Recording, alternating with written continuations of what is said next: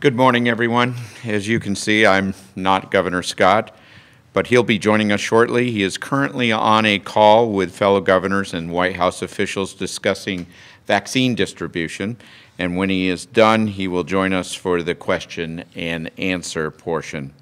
Today, I'll start by giving an update on Vermont's vaccine rollout. Commissioner Pieciak will present our weekly modeling, and Dr. Levine will provide a health update. As of this morning, over 55,000 Vermonters have received vaccines, 35,500 vaccines. Uh, Vermonters received their first dose, and 19,500 Vermonters received their second dose. That means nearly 10% of eligible Vermonters who can receive the vaccine have been administered at least their first dose. We have now registered 34,170 Vermonters as of this morning, 75 years and older, who are scheduled for their first dose of COVID-19 vaccine over the next five weeks. So far, more than 14% of Vermonters 75 and older have received their first dose. That's up from 6% last week. The Health Department COVID-19 vaccination clinics are, proceeding as scheduled today. Uh, if you have an appointment to receive the vaccine today and you are concerned, you can monitor the, the weather. But as you can see out there, the weather has turned in a little bit in our favor, and we haven't been getting the snow, at least in the central to northern parts of Vermont, that have been anticipated. So those who want to change their appointments because there are snow, you can call 855-722-7878 to reschedule. You'll be given a new appointment for the same time on a day later this week, or you can ask for a new appointment on a different day. We have not had many cancellations. Um, as of this morning, I heard that we had about 21 cancellations. So people are looking at the weather and making the decisions based upon what they're seeing outside their window. Um, let me just uh, move on a little bit, turning to additional locations because I want to keep you updated on additional locations. Currently, there are 87 available appointments in Windsor County, although they may not be on your preferred date and time. We're looking at adding appointments at Mount Ascutney Hospital coming available next week and perhaps additional allocations of vaccine to Springfield Hospital soon. We've added a clinic in Alburgh to serve that area and the upper portion of Grand Isle County.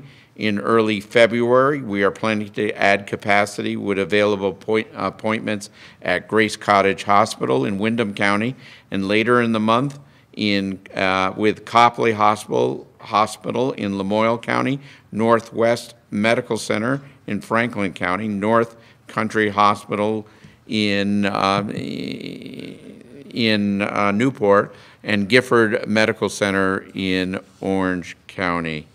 Uh, on the issue of homebound, we have been waiting for CDC guidance on transporting vaccines. Uh, for those that are homebound, as I have mentioned, we plan to use home health and EMS providers to del deliver vaccines uh, to those individuals. We've developed several different methods from going to the home with the vaccine to arranging mobile clinics depending on recommended, recommended guidance from the CDC. Uh, Last night we received preliminary, preliminary guidance so that by the end of this week, it is our hope to start delivering vaccine to homebound Vermonters. We have also established a working group to look at the best time to begin the process of opening up long-term care facilities to congregate dining and other activities once a sufficient time period has elapsed to fully allow the vaccine to build up the body's immunity to the virus in the residents of these facilities. Our senior our seniors living in long-term care facilities have been isolated for far too long, and it is our hope to reestablish those social connections as soon as possible. All 37 skilled nursing facilities have received their first and second dose of the vaccine uh, according to schedules, as well as 87% of residential care facilities and 94% of assisted living facilities have received at least their first dose, with many receiving their second dose. In all, a total of 85% of long-term care residents, that includes skilled nursing facilities, residential care, and assisted living, have elected to receive their first dose of vaccine. This successful, I can't say this enough, and I'll repeat it again, this successful statewide vaccination effort um, has many people to thank. Uh, it has the state employees across multiple departments and agencies uh, who have worked hard to put this program together, our health partners who have partnered with us to provide vaccin vaccination sites, loved ones, neighbors, and friends who have lent a helping hand, not only to sign people up, but to transport them to the vaccination sites. Um, it's, it's been because of all these people um, that this has been a success. It's been no one person, no one department, no one agency, no one individual. Um, it's been a concerted effort of all Vermonters to, uh, to make this happen. And again, I say thank you. Lastly, for those who have not signed up for your uh, vaccine, I would urge those Vermonters 75 years and older who have not yet done so to register for the vaccine. Please do so by going online at the Health Department's website at healthvermont.gov slash myvaccine. That's healthvermont.gov slash myvaccine or simply call our registration call center at 855-722-7878. I'll now turn this presentation over to Commissioner Pieciak, who will give you his weekly update on trends.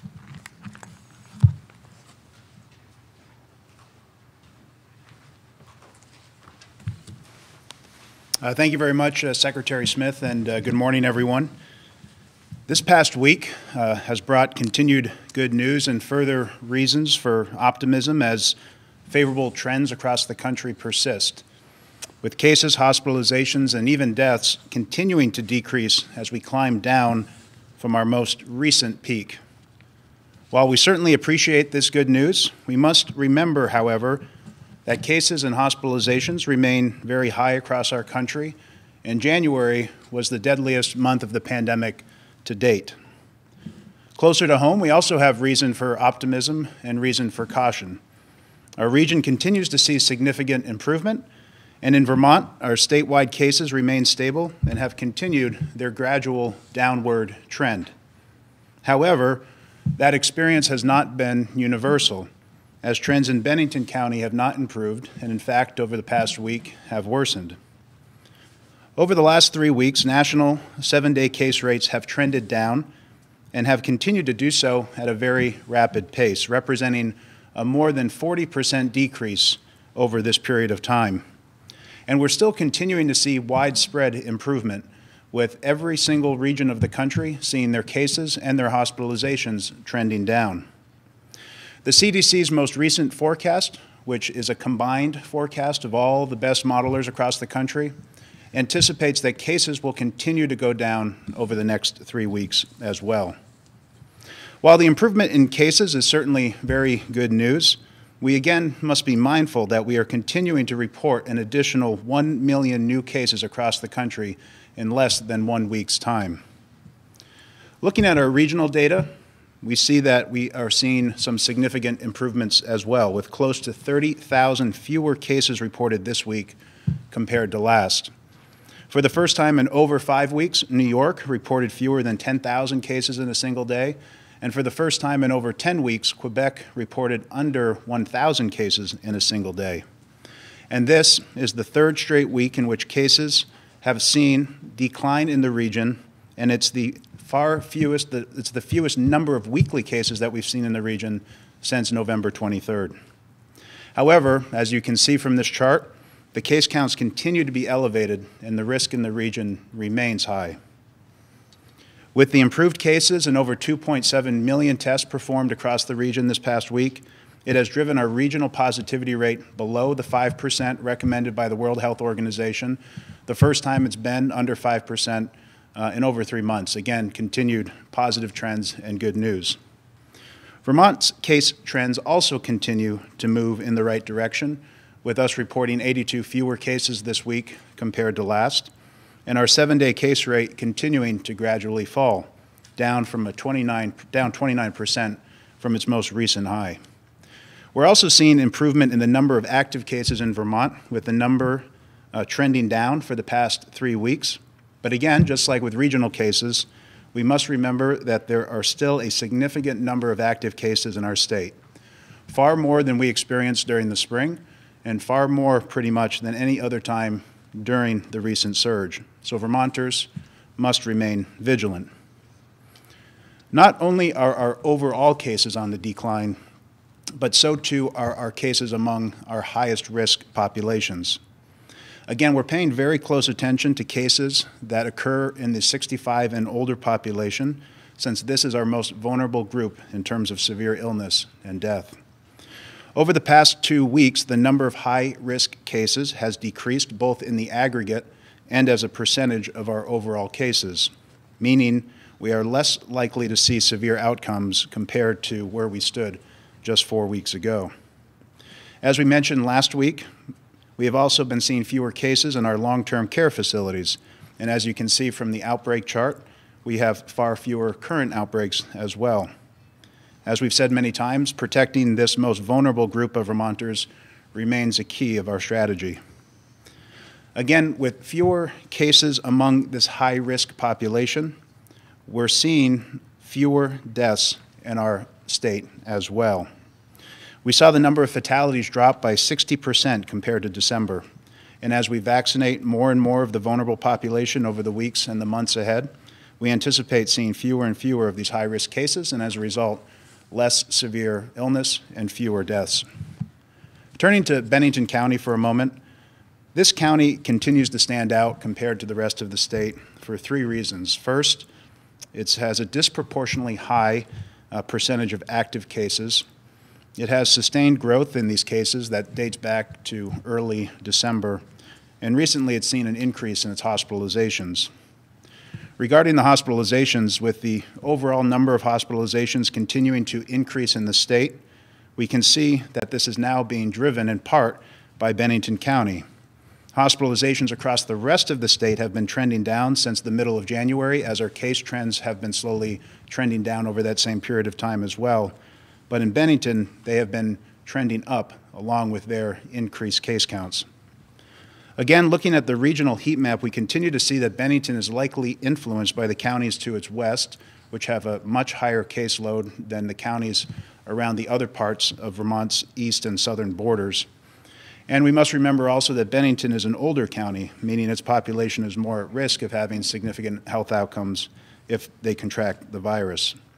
So again, while it's important for all Vermonters to remain vigilant, certainly this is particularly true for those currently uh, in Bennington County.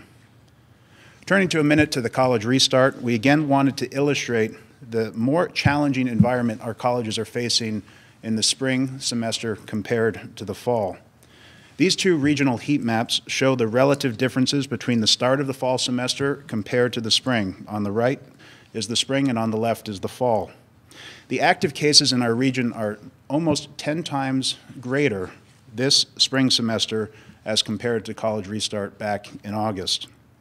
So we should expect to see more cases on campus compared to what we saw in the fall. And this week we're reporting 65 new cases across all of our college campuses.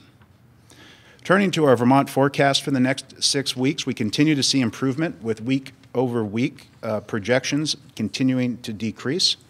And although our most recent case data suggests that we will uh, beat this forecast over the weeks ahead, we do expect cases to remain elevated for much of the month of February. So it's something for all Vermonters to keep in mind. And finally, as uh, Secretary Smith said, we've made great progress on the vaccine front. Uh, Vermont continues to stand out nationally, ranking number two in the Northeast in terms of vaccine administration and number six nationally on that same mark. At this time, I'll turn the presentation over to Dr. Levine.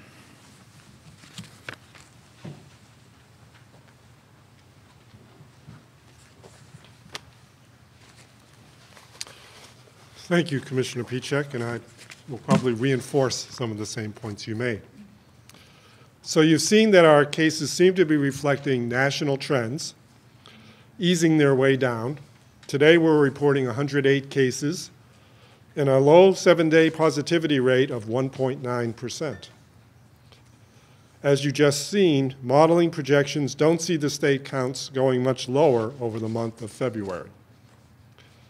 We're also seeing deaths increase at a much lower rate, which of course is also good news in distinction, contradistinction to some of the rest of the country. I've mentioned previously, and we saw recent evidence for that, that this has to do with fewer cases in long-term care facilities in January as compared with December. The one thing that still remains a concern is, in comparison with national trends as well, our hospitalization rates. Hospitalizations were at 60 yesterday and are at 64 today, with 12 patients currently in the ICU. As you've seen, a large portion of these are in Bennington County. The rest of the state is actually exhibiting some stability. Fortunately, Southwest Vermont Medical Center is coping very well with this added clinical load, and tertiary centers in the region have accepted some of the highest acuity patients in transfer. We continue to monitor that situation very closely, in addition to the higher case numbers generally in that part of the state. Our data teams have not pinpointed any one cause for the spread in Bennington County, though we did know of some larger gatherings in early December, before the holidays, that led to some small outbreaks. Additionally, a percentage of these cases are related to New York residents who either work or receive their medical care in the Bennington area. Examination of COVID 19 case activity in this county looks much more like the adjoining New York counties you saw on the heat map than those of Vermont. We're also seeing that out of state ski business accounts for some of the cases as well, but because many of these are visitors to the state and they're only here for a day or two, all we see are the impacts of spread to restaurants or work sites. We're working to ensure that Bennington County has sufficient testing and information to help slow the spread of COVID. What we're seeing tells us we must work harder on the containment front, which begins with access to testing.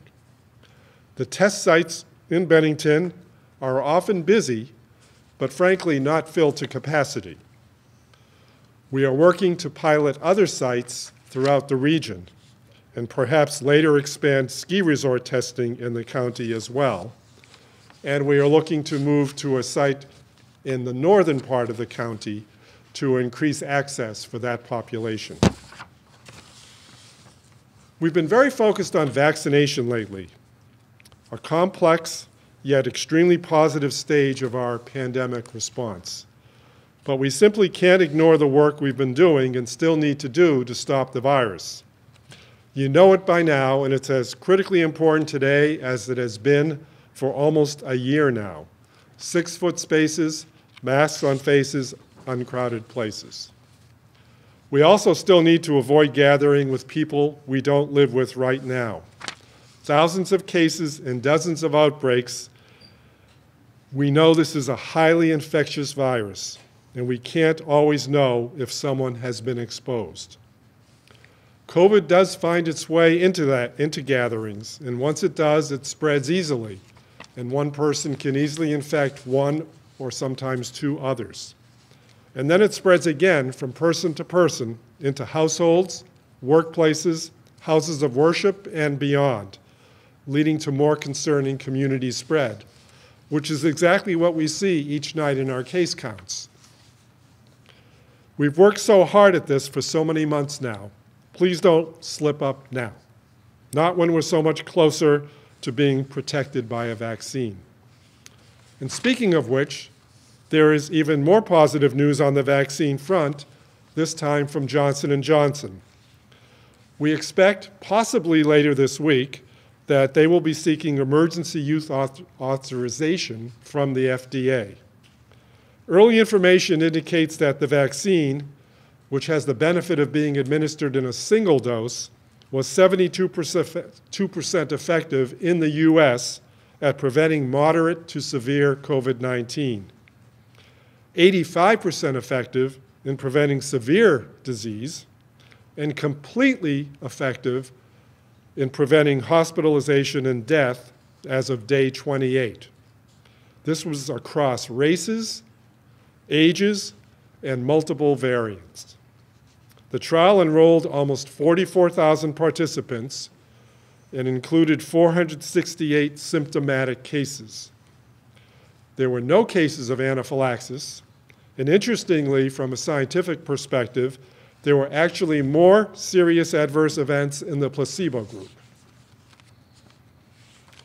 We're also still watching the cases that have surfaced at colleges and universities. A number of athletic teams have had outbreaks and had their seasons paused, including UVM, Castleton, and Norwich. With regard to high school sports competition, we have just barely reached the day 14 mark since opening phase two. Our EPI team is in the process of preparing analyses of cases both before we opened phase two and since. We will look at both team cases, impact of cases on teams, and impact of cases on schools. Our one university outbreak continues to be Norwich, which has now reported 94 cases. We understand that many students travel to Vermont from other parts of the country which have higher prevalence of COVID 19. They then encountered further risk through the actual process of travel. In some cases, they learned that family members tested positive after the student had already left for Vermont. We expected to see more cases in the spring semester than the fall, knowing how much more virus activity has been happening throughout the country and region. Though these cases are concerning, this is, this is exactly why we require returning colleges, college students to be tested and quarantined. This helps us identify cases, ensure they isolate themselves, and ensures that their close contacts quarantine before the semester even begins. The university appears to have sufficient isolation and quarantine housing, and their new president and administration have delivered effective messages and guidance to students detailing their responsibilities in quarantine. In some instances, disciplinary actions have been taken. We are working closely with the university to refine testing protocols, especially for close contacts, on top of the surveillance testing already in place. We're examining the specifics of cases and the potential spread on campus to guide our recommendations. Our outbreak response and prevention team continues its work with the school with containment as the goal. I will say that the marked slowing of case growth in the past several days may indeed be an encouraging sign. The health department is also in the process of submitting some specimens from these cases for genomic sequencing to see if any involve new variants, which are mutations among the COVID 19 virus.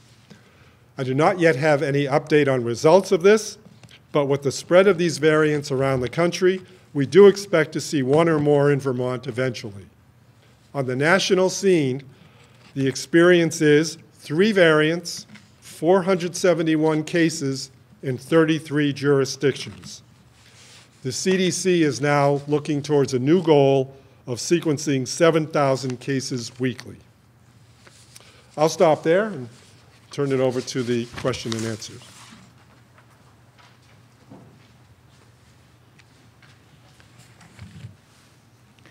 We'll take questions and, um, questions right now. All right, I'm going to open it up to questions. Just a reminder that Governor Scott is not in the room at this point. We will let you know when he is. We'll start with Calvin.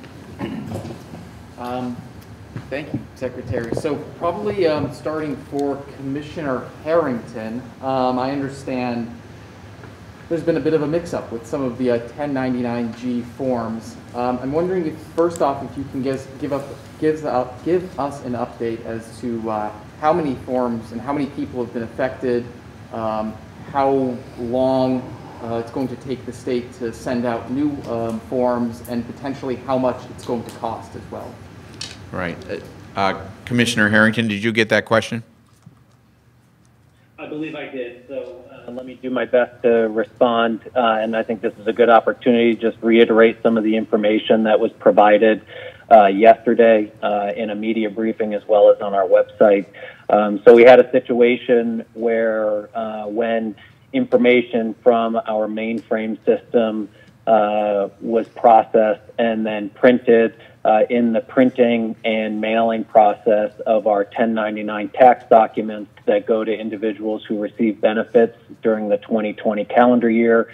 Uh, that file uh, was corrupted, uh, and what ended up happening was individuals began receiving 1099 documents from the department where the name and address uh, were incorrect either on the front of the document, uh, the part on the envelope, or once opened, uh, it had incorrect name and social security number on the inside.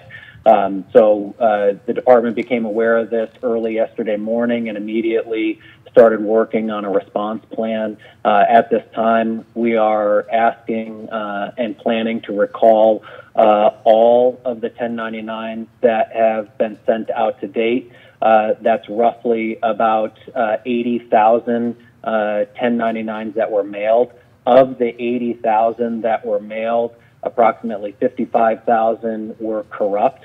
Uh, and then a smaller subset of those included uh, a corresponding name and correct social security number, which leads us to believe that there is the potential for uh, some incidences of, of uh, the improper release of protected uh, information from the department. So uh, we are working right now to communicate with claimants, uh, but the instructions to, to claimants are uh, if you receive a letter from the Department of Labor and the name and address uh, is incorrect or any portion of the name and address is incorrect uh, on the envelope, please do not open the envelope and set it aside. You will receive follow up communications along with a letter and a pre stamped, pre addressed envelope for returning that 1099 to the department.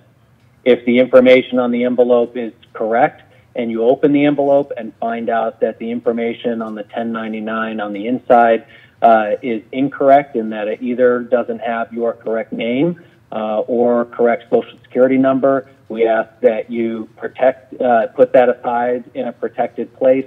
And again, uh, you will receive a communication and mailing from the department with instructions uh, for uh, how to return that in a self-addressed stamped envelope to the department.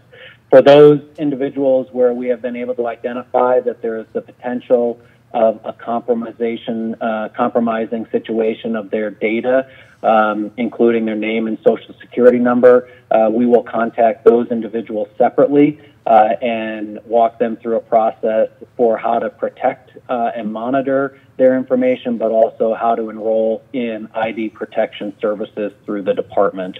Uh, we expect uh, the immediate notification and recall effort um, to occur over the next two weeks, along with um, the outreach notification of individuals where their information may have been compromised and enrollment in protection services if uh, if requested. And then uh, we also have the process of reissuing um, new 1099s um, under a controlled process uh, by the end of the month. Um, so again, uh, a couple different actions taking place over the coming days and weeks, uh, and we will be communicating that both on the website uh, as well as to individuals directly. Kelvin, did you have a follow-up? Yeah. So it, it appears as if, if I'm hearing you correctly, Commissioner, it sounds like this is um, another problem from the UI mainframe. How do we make sure this doesn't happen again? Yeah, so it, it isn't necessarily um, directly related to the mainframe, although all roads lead back to antiquated systems. Um, traditionally, here at the department, uh, we would process somewhere between six and 8,000 1099s, uh, and people would receive one 1099. Obviously, 2020 had presented uh, a much more uh, difficult and complex problem uh, in that uh, we are now issuing 180,000 uh, 1099s in total. And instead of one 1099, people will receive multiple 1099 due to the the extension and expansion of various benefit programs. And the problem is that all these programs uh, don't reside within one system. Uh, they reside in multiple systems. And, and part of that is obviously due to the age of the mainframe. Um, the other issue uh, that is impacted because of the age of, of this system is that many of our processes i- include manual steps in those processes and the transmission of data to and from the mainframe and to various other ancillary programs and systems. And so, you know, unfortunately, given the complexity uh, and um, and kind of the the outgrowth of these multiple systems and steps and processes, we've simply um, expanded the opportunity for um, you know, for, for failure actions to occur and missteps to occur in each one of these processes due to the, the level of manual effort that occurs. So uh, we are um, looking at uh, additional quality control and quality assurance measures that can be put in place. Uh, both to review the incident that occurred uh, so that we can learn from it and correct um, gaps in the system, we are also looking at long-term uh, quality control and quality assurance um, uh, efforts that can be implemented, again, to ensure that um, once we have uh, received uh, the 1099s that were improperly sent, uh, reissuing uh, 1099s that are, are true and accurate. Um, so uh, we've got a lot of work ahead of us over the coming uh, weeks and months. Um, and uh, we're, we're neck deep in, in trying to move through this process as quickly as we can to get information um, to claimants and impacted individuals uh, in an expedited manner. Secretary, if I may, just one more. So Commissioner, um, you know, potentially there's quite a few social security numbers that were assigned to the wrong, or sent out to the wrong people. I guess in, in an instance like this, what, what does accountability look like? I didn't catch the last part of that, Calvin. Uh, what was the actual question part? What, what does accountability look like? Yeah, so I mean, accountability uh, from the department's perspective is we obviously have an obligation under the law uh, to notify uh, the Attorney General's office as well as the IRS, but more importantly, we have an obligation uh, to uh, to notify the impacted individuals. Um, you know, I from an accountability perspective, um, I think our investigation of, of the process and what occurred will bear out where the, the failure in the process occurred. But obviously, at the end of the day, uh, they are mailed from the department, which means um, I am accountable for what leaves in the department. Uh, and, and we'll review that process and, and different pieces that were involved in that process ongoing. You know, I think at this point it's, it's certainly too early, and, and I'm not really a big fan of pointing fingers. Um, you know, we've we've got a very uh, talented and committed crew here um, that worked tirelessly over the past month um, to to get this effort out the door. Um, and and certainly uh, there are always the opportunity for mistakes. Um, and, and if we find that there was something intentionally done. Uh, or or um, someone uh, did not follow a, a procedure, we'll we'll we'll identify that and move forward. But at this point, um, I think we're all focused on uh, how to notify claimants as quickly as possible, uh, how to get them uh, the instructions they need uh, to move forward, and how to get them new information. And obviously, for those uh, where there may have been um, an improper release of their uh, private information, getting them the protection as, as quickly as possible. And that is our main focus right now. Thank you, Commissioner.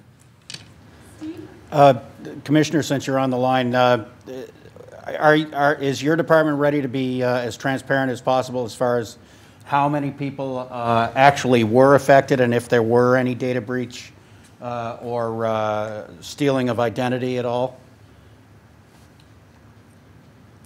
We, we will be as transparent as we can under the law and within our capability. And the reason I say that is I can tell you um, to, today how many 1099 documents left the building uh, and were put in the mail. What I can't tell you is how many people that represents at the moment because uh, we have people who were of those 1099s that were mailed. Um, there were, indi- you know, there were incidences where someone, where three of those 1099s could have gone to one person. And so we will have to do a much deeper dive uh, into the mailing of the 80,000 1099 um, to to understand what the true population looks like.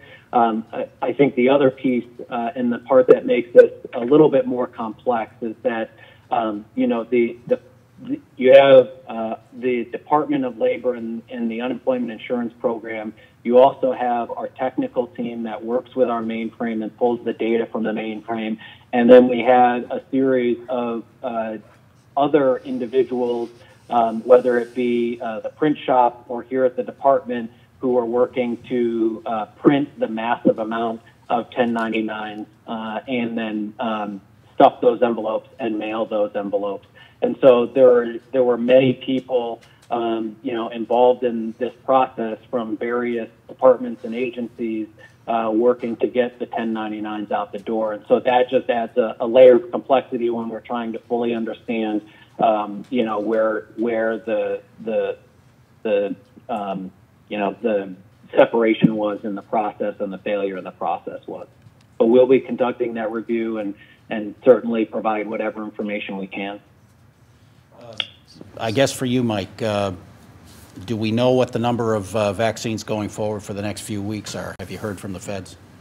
We, we've had the 10,300 that we've heard for the next two weeks that we've heard from the feds. Obviously, the governor's meeting with the feds right now, um, but uh, we're going forward with that number. We haven't had any commitment beyond that number. We, uh, obviously, as you know, we've, we've uh, uh, done all our modeling on 8,800 uh, doses as we move forward, but um, we hope to hear some more. And have you heard from the Guard at all, or, or has the governor uh, approached the Guard as far as uh, distribution goes? We have the Guard in reserve for distribution. If we got a massive amount of vaccine, we would deploy the Guard in, in, in our, in our planning. We, we've actually planned to have the Guard as a reserve um, in case we do get um, more vaccine than we had anticipated. So um, the Guard is a very important partner in this if we get more vaccine. Thank you. Stewart, NBC5. Thanks, uh, Secretary Smith. Um, can you tell us when school teachers are going to get vaccinated? Well, I think what the governor has said, and I think this is the way that we've um, approached this, we have done age banding, and uh, the age banding from 65 uh, to 70, and 70 to 75, and 75 above. We're in the 75 above now, which is the first age band. We will get through that, and then we've talked about those with underlying conditions from 16 to 64. Um, and then the governor said he's open to discussions about what comes next. Um, I have said that we'll be through 65 uh, by the start of the spring, and I still believe that's the case. We still have to get through the uh, uh, 16 to 64 with the underlying conditions that uh, Dr. Levine had talked about. So we're open to discussions after the age banding and the underlying conditions and to talk about that at some point. So, start of spring. I mean, I don't know how long the, the 18 plus with the underlying conditions might take, but is I mean, the, as you know, the NEA is, is talking about an April time frame. Is that in the realm? Well, we'll talk, we'll continue our discussions with the NEA. Actually, I'm meeting with them tomorrow um, to d- have some discussions with them on, uh, on various uh, aspects of the vaccine program. I, I think it's too soon, really, to talk about specifics on, given the fact that we don't know when Johnson & Johnson is coming, we don't know when other vaccines may be coming to the market. Um, But we're certainly open to talking to uh, various individuals about various things. Look, um, I know that teachers want to get back to classroom teaching um, five days a week, and I know that students want to get back five days a week. In fact, we, we need to get students back on all levels. The grade school levels we're doing fairly well at. We need to get back students at all levels. Um, and the sooner we can, the better, better it is for everyone. So we'll, we'll, we'll go in with that mindset um, as we look, but it's important, Stewart, I don't want to lose sight on, important of the strategy that we have, reduce death. And, and, um, and the strategy we have is through the age banding to reduce death, reduce serious illness, and get us back um, to a place faster with this strategy than we would in sort of a scattered uh, shot strategy. All right. And just uh, listening to Commissioner Harrington, uh, a thought occurs, and, and we, like everybody else, I'm sure, have been hearing from people who are not happy about the 1099G mess up. Is there any way, if, if I get somebody else's social security number and I go out and try to create a, an account or do something phony, can you, will you know that you sent somebody else's social security number uh, to me? Can, is that traceable in some way? Uh, don't you want to put people on notice, uh, you know, not to do the criminal? Commissioner Harrington? Um, so thank, yeah, thank you, Stewart. Appreciate the question. Um, you know, the immediate thing and uh, is that anyone, regardless of this situation, but obviously in in light of this situation, um, people should monitor the activity on their accounts, uh, whether it be banking accounts or credit card accounts. Um, Additionally, they should also consider security freezes on their credit reports and credit scores, um, just given rampant fraud that is occurring across the country right now. Um, specific to this incident, I completely understand um, people's frustration. I want them to know that I share in that frustration. Um, you know, this this was uh, you know something that uh, you know I I could never have imagined would have occurred um, coming out of the process we had in place. Um, and they have my uh, unwavering commitment that we will review the process, correct the process, and make sure we implement safeguards to prevent it from happening in the future. Um, I think along those lines, we do have a way uh, to identify um, the, the population where uh, we sent a 1099 that had a person's social security number and that same person's uh, name uh, on the same document and where that document um, may have been delivered to someone other than the name and social on the document.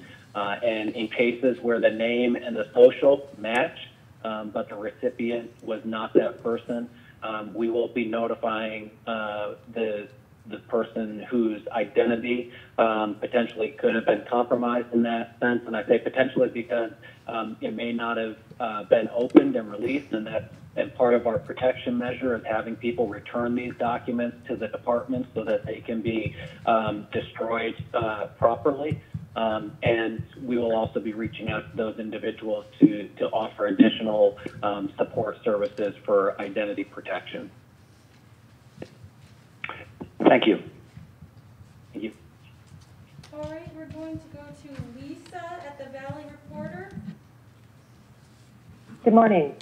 Looking at the hospital data recently, it shows that despite declining case numbers and hospitalizations, the number of people in the ICU has increased in January and looks to stay elevated through the end of this month. Why is that? And is it possible to provide the demographics of those who are hospitalized as well as those who are in the ICU? Commissioner Pieciak or Commissioner Levine, one or the other? I'm glad you asked a question about hospitalizations because either I misspoke or, or I misspoke. But uh, I was uh, notified that I may have said we went from 60 yesterday to 64 today, but we went to 54 today. So I'm not sure what I said, but the accurate number is 54. Uh, so seeing more people in the ICU, um, obviously that implies an increase in severity of the condition of the person.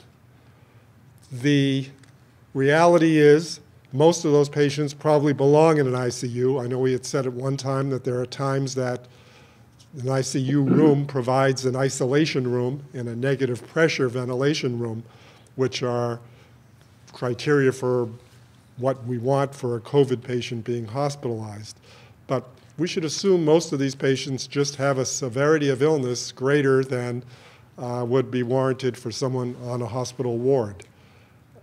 The nice news about that is rarely, occasionally though, ventilators are used for these patients.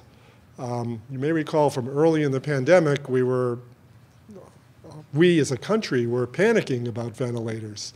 And all kinds of entrepreneurs were out there trying to convert whatever business they had into building ventilators. Uh, now ventilators aren't such a big issue. Um, we've learned a lot more about the care of the patients, the uh, way to manage their oxygenation needs and their ventilation needs that don't always involve using uh, a ventilator itself, which is great. And we have medications we can administer that may interfere with some of the inflammatory response of their body that had led to a uh, respiratory distress syndrome related to the virus. So um, I think we said during our presentations that we showed, in fact, Commissioner Pieciak had the uh, slide that showed where the Bennington cases were going on an uptick and the rest of the state was pretty stable. And that is really the pattern that we have. So I'm not sure I can give more granularity to your answer than, than I just did. Um, the ICU usage is obviously not just in Bennington, it's all over the state, but it's, again, distributed. So is it possible to provide aggregated demographics for those who are in the ICU to avoid potential HIPAA violations if they could be aggregated from December to the end of January? Oh, just over time to, to see it in aggregate for the state, how many were in an ICU at one point in time versus another? Oh, Yes, and, I'm sure, and, yeah. and their age, age band and their um, sex. Yes, yeah, why don't, why don't we get back to you with that? Sure. that would be great. And my next question is also for you, Dr. Levine. Could you elaborate your, on your comments about Bennington and ski resorts and visitors who are leaving COVID behind? Yeah, so I mean, the reality is we have a lot of visitors to the parts of the state.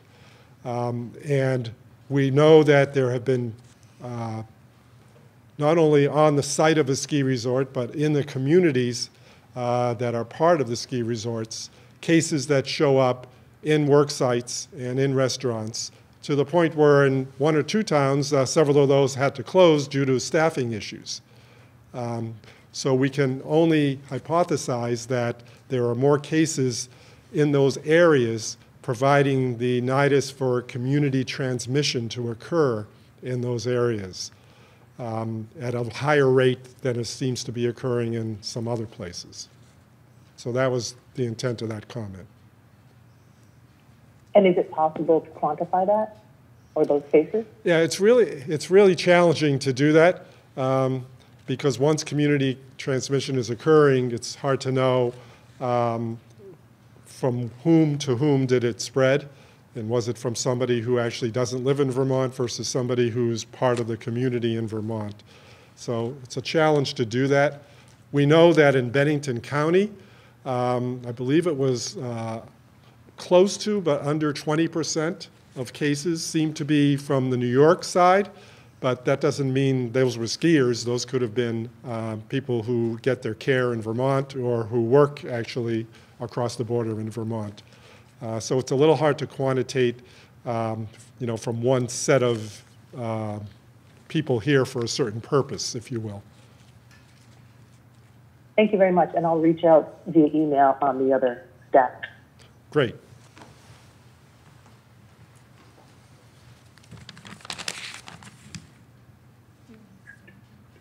The governor has joined us, just so everyone on the call knows. Yeah, uh, good morning. Uh, Sorry I'm late. I just wanted to jump in quickly um, before we continue answering questions. I was just on a call with the National Governors Association and White House officials discussing vaccine distribution amongst other topics. Um, It was a very productive conversation, and I appreciate the Biden administration's engagement uh, with my fellow governors and me. Uh, This is uh, part of their promise to update us on a weekly basis. So um, unfortunately, today was uh, part of our, you know, it uh, uh, connected with our, our press conference. Um, But we did hear some, some good news. Our doses will be increased another 5%, and that's in addition to the 16% increase announced last week, uh, for a total of more than 20%. If you do the math and compound and so forth, it's probably around 22%. Uh, It's not 21, but 22, over where we were several weeks ago. Uh, They also reiterated uh, that this would be, uh, they would, uh, they would promise this over a three-week duration, uh, which will be tremendously important to us as we plan ahead. Uh, That's what we had asked them to do, and they are following through on that promise. So for the next three weeks, we'll be receiving uh, the, this additional uh, 5% uh, on top of, again, the 16% from before. So in addition to the 20-plus percent increase, uh, they will also be providing us with the tools to get the extra dose uh, for the Pfizer vaccine, uh, which is uh, potentially about uh, 15 to 20 percent, I think, more per vial. So that's not included in this, but they are providing all the tools we need to do that, and I believe they did that this week, but they are going to continue to do that in the future. They will also um, be retroactively providing 100% uh, reimbursement for certain FEMA-approved uh, operations. Uh, I think National Guard, in the beginning, uh, we were at uh, 75, uh, 25. Uh, The states had to provide 25% uh, reimbursement. The um, the Biden administration, uh, when uh, President Biden was sworn in, one of the first actions was to commit to 100% at that point, uh, and now it's going to be retroactive uh, back to January of uh, 2020, which will mean uh, millions of dollars for Vermont. Uh, We don't uh, know all the details, and we'll look into that and hopefully be able to update you on what that could mean, but, but I would um, safely say it's, it's millions of dollars that will be coming back to Vermont in some respects.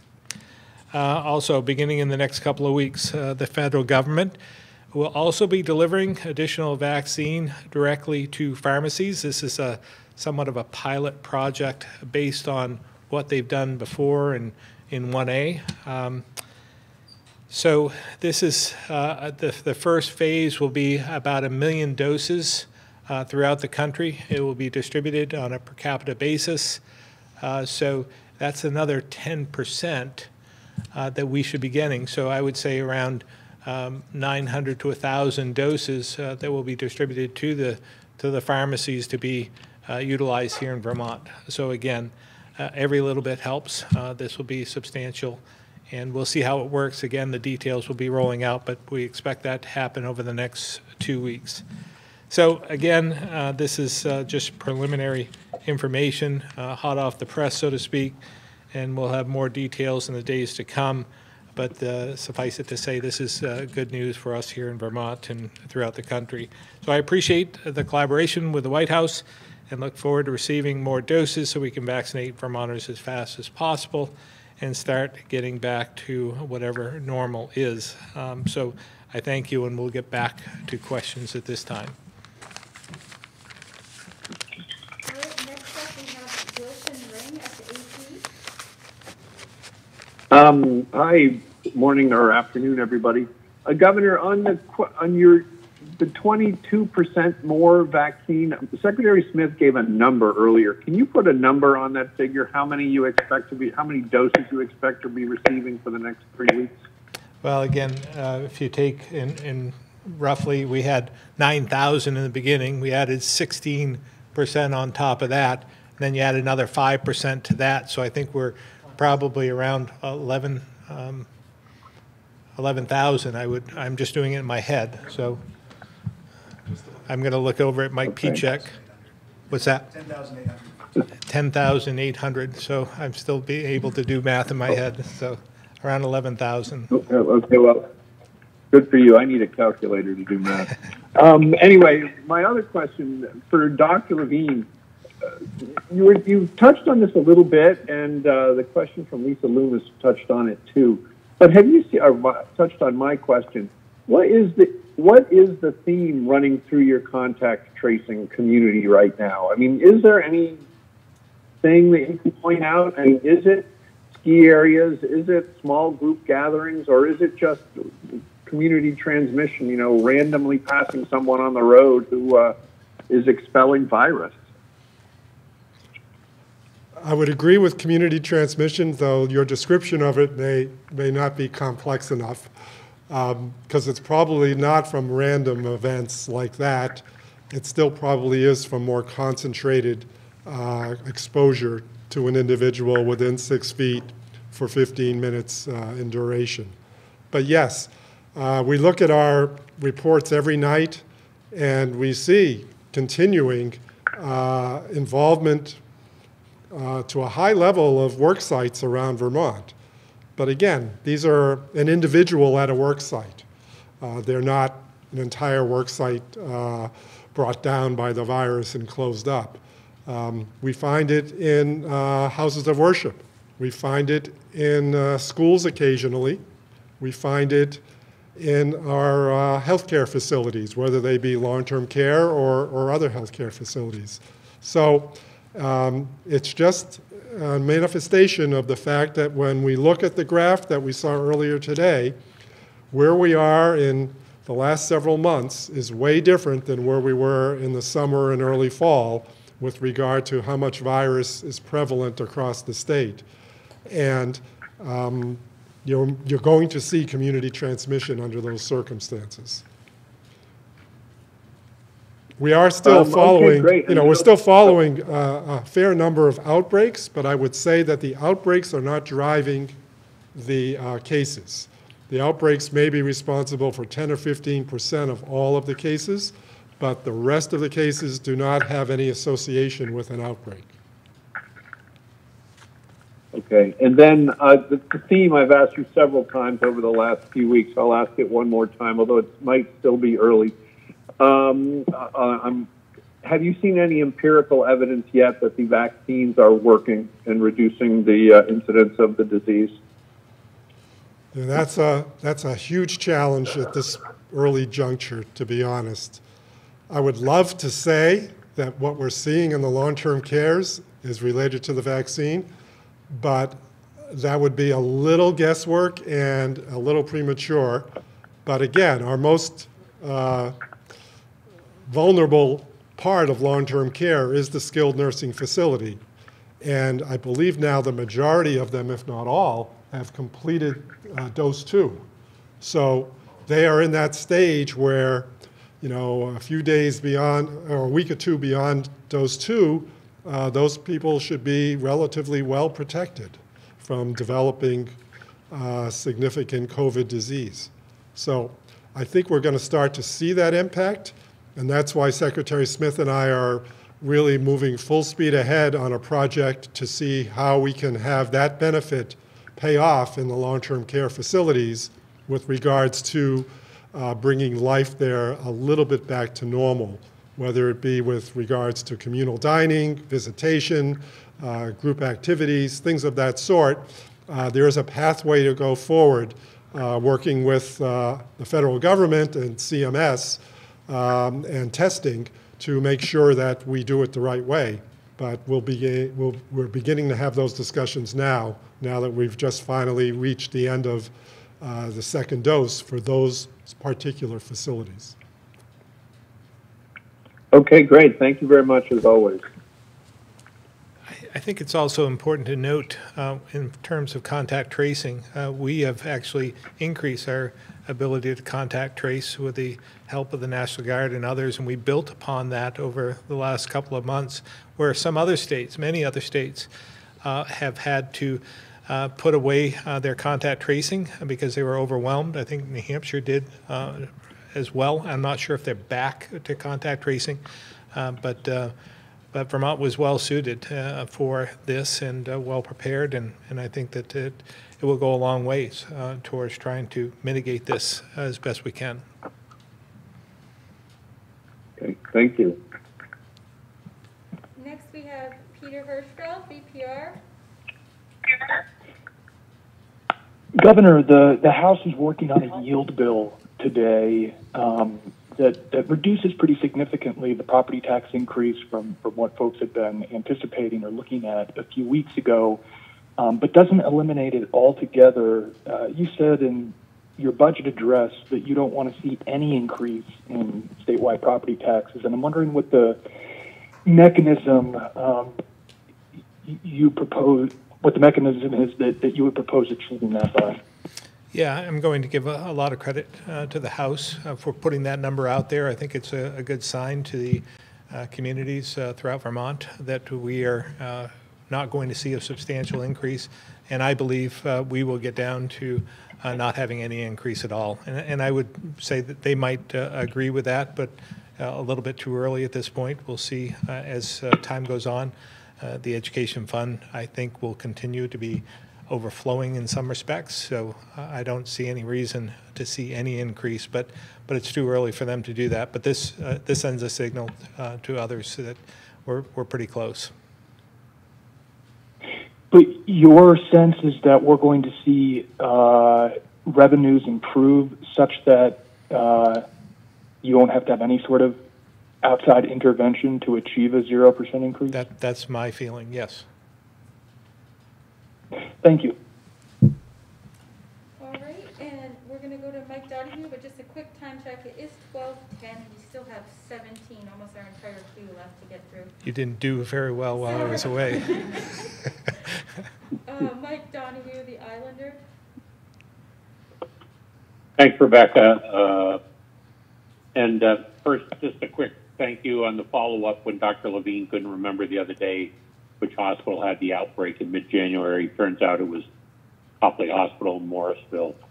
Uh, The health department told us finally, so thank you very much for getting back to us.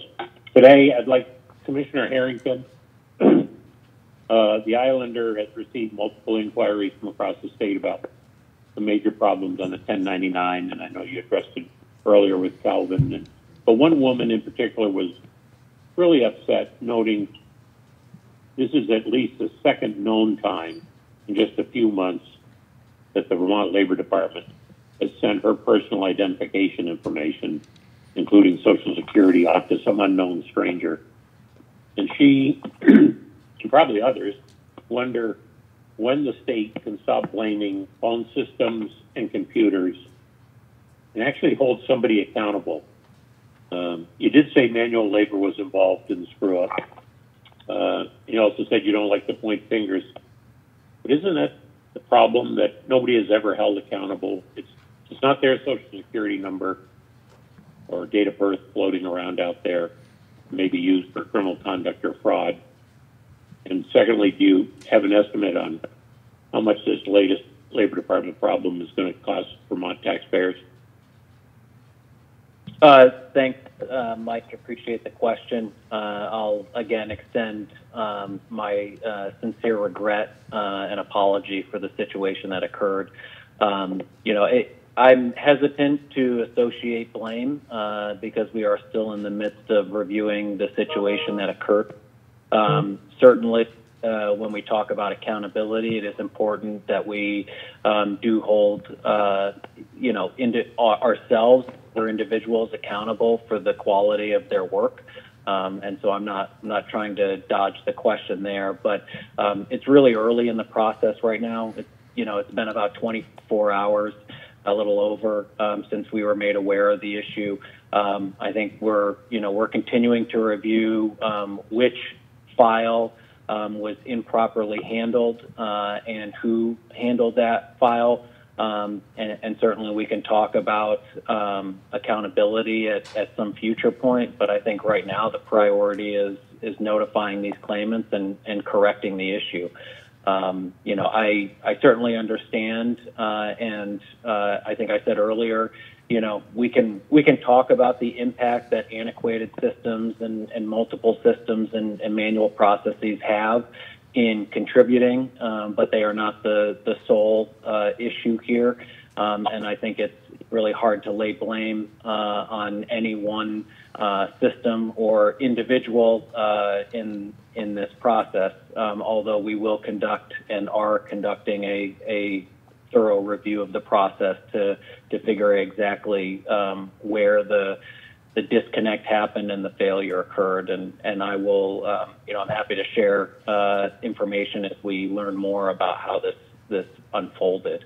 Um, you know, un- unfortunately, it's probably likely the most simplest of of um, processes um, that lead to the the largest uh, impact. Uh, and um, you know, it wouldn't it wouldn't be surprising in this case, uh, given the amount of data that is needing to be transferred and, and handled in multiple different ways in order to um, you know conduct the types of complex um, processes we're doing. So, um, in terms of, of accountability, I, I will own that. Uh, although, um, you know, I think what people really want to know is is where did the where did the failure occur and, and why um, aren't there better control mechanisms in place for assuring quality? And, and that's what we're trying to get to. Um, and, and we will move forward with that eye on, on quality control and quality assurance. Okay, thank you. And Secretary Smith, uh, thank you very much for your efforts in trying to get the vaccine sites finally brought to Grand Isle County after the health department ignored it. Uh, but we heard this morning there'll be vaccine shots at the Alburgh Volunteer Fire Department on February 12th. Wondering if that's the only time. We unfortunately we've heard other vaccine sites in Grand Isle won't be created until sometime in March, which is well beyond the deadline for 75 year olds to get their shots. And uh, the health department told me multiple times the vaccine will only come to Grand Isle if the state gets additional uh, shots from the feds. But clearly, vaccines are earmarked for Grand Isle residents driving to Burlington or St. Albans. It was good news to hear the governor say the White House is promising more vaccines. So I don't know if Governor or Secretary Smith can there be a pledge that Grand Isle residents will actually be assured they will get their fair share in this extra dose. Yeah, I mean, Mike, this is Mike Smith. We um, uh, we have established a uh, vaccine site in Alburgh. My impression was that it was ongoing. I will double check that just to make sure. If it's ongoing, then it, it solves uh, what you're talking about. So we will, Grand Isle residents will, will there be others? I know they were looking at Grand Isle School and the health department stopped at South Hero School yesterday, but looks like it's not going to be until March, which again is beyond the 75 year old Yeah. deadline for getting their shots. Mike, you brought you brought uh, oh, you gave me a week to get the first one up. Let me see what I can do with the second one. How's that? Fair enough. I'll give you a week. Thank you, everybody. Ed, Newport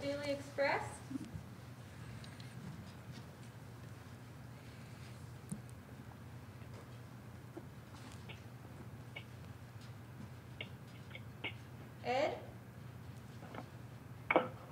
Yeah, good afternoon. Um, uh, Dr. Levine, uh, could you just provide a little bit more uh, clarity ab- about the statement you made that they would be opening up some of the assisted care facilities to allow people to uh, congregate? Is that only going to be for people who are current residents, or can family members visit during those times, and do they have to be vaccinated as well? Yeah, thank you for the question. What I did was try to give you a glimpse at the future, not at the present, for one thing. So none of this is operative now. Um, and um, all of this has to be uh, in compliance with CMS, Center for Medicare and Medicaid Services, uh, guidance and regulations. So um, this is our roadmap is what I'm describing. Now that we have the skilled nursing facilities completely vaccinated with regard to those who live there, um, this is the time for us to now try to find the way forward. You mentioned assisted living. There's assisted living and other residential care facilities that are in process still. So many of those people have not received their second dose yet, so they're at a little later stage of development in terms of the way the progression went for vaccinating long-term care facilities. But um, there must be a way for us to move forward uh, even before family members get vaccinated, because obviously, um, while many family members may actually be old enough or, or qualify otherwise to get a vaccine in the near future, uh, there'll be, I'm sure, plenty that will not have yet received their vaccine. But that doesn't mean we can't improve the life for those who are living in those facilities with the activities and social arrangements that can be made within the facility. And it also doesn't mean that visitation is off the table, uh, because obviously we did do vis visitation mostly outdoors with distancing and masking um, before the winter arrived. And we clearly can still move in that direction again as long as we uh, do all the uh, boxes getting checked for CMS and do the right things. So that's just a glimpse of the future, and we're hoping it's the nearer future, not the distant future. Okay, thank you very much.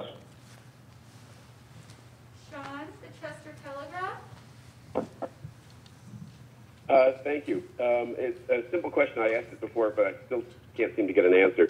Um, there were three temperature monitors at the Springfield Hospital, uh, and we understand that two of them read within the acceptable range of 2 to 8 degrees Celsius, and one read 9.1, and we're trying to find out which was accurate, which was inaccurate. I'm uh, going to ask Dr. Levine if he can.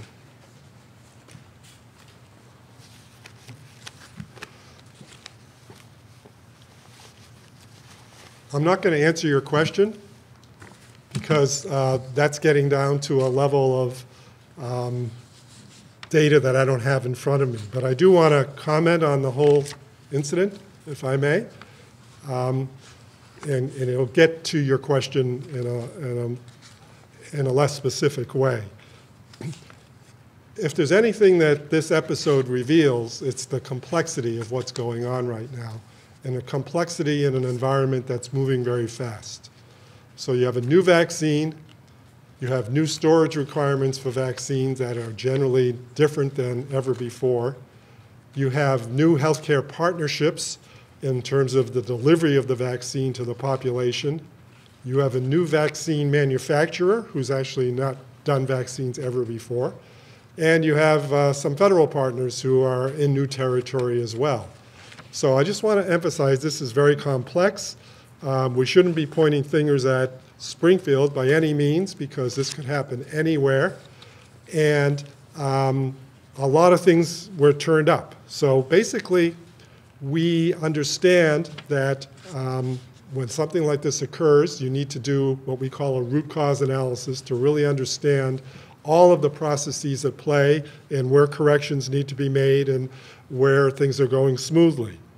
The uh, health department's immunization staff did in fact do a site visit after this event occurred.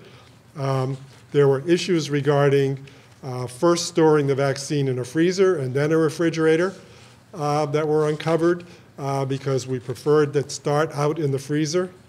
There were issues with the refrigeration system and that is being replaced. There were issues about the thermometer, and you're talking about the sensors, and there's actually now a um, new device that will allow the health department in its immunization program to monitor the temperature real time from afar and provide alerts if the temperature wavers outside of the range that it's supposed to be in. Um, the hospital has been very cooperative in uh, providing us with the information we needed, correcting its storage and management practices and monitoring. And um, basically, the bottom line is things weren't all that awry there.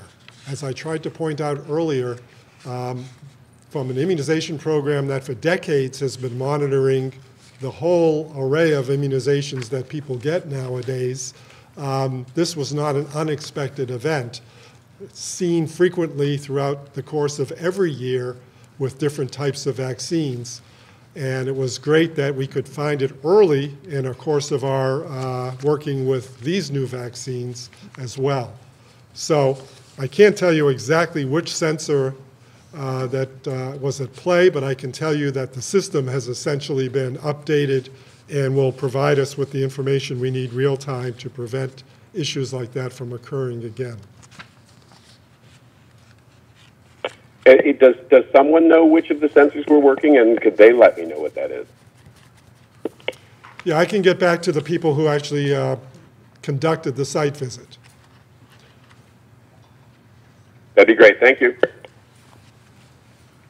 Devin, local 22.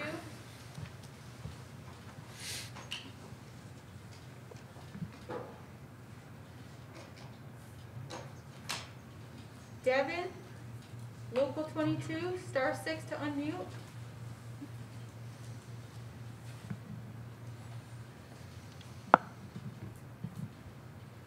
All right, we're gonna go to Derek, seven days.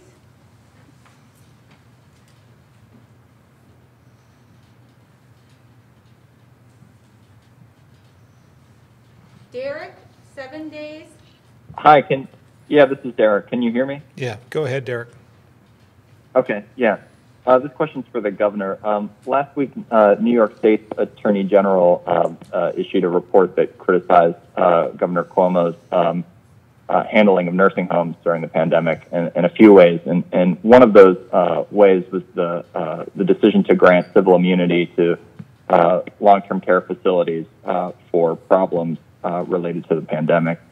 Um, and the attorney general there uh, said that the, that civil immunity clause, you know, may have uh, incentivized these homes to make uh, financially motivated decisions. Uh, for instance, you know, admitting patients uh, even though they may not have had uh, the staffing to care for them adequately.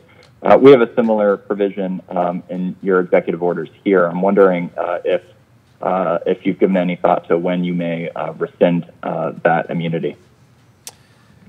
Um, I don't, kn- we haven't had a, a discussion about that provision in particular, and, and we can, I can confer with the general counsel and others amongst the uh, uh, senior staff and, and interested parties.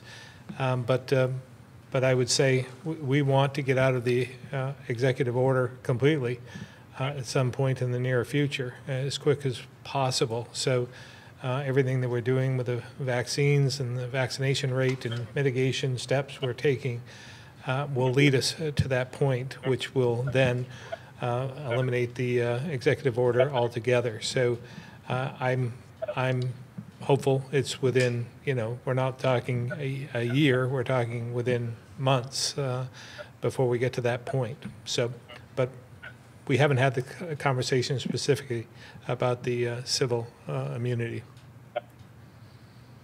Okay. And as a follow-up, obviously there were some problems identified uh, in, in one home in Elderwood. I'm wondering if you're aware of, uh, if you've been hearing uh, complaints or reports of problems uh, involving care at other homes in the state. I may uh, refer to Secretary Smith on that, see if he's heard anything.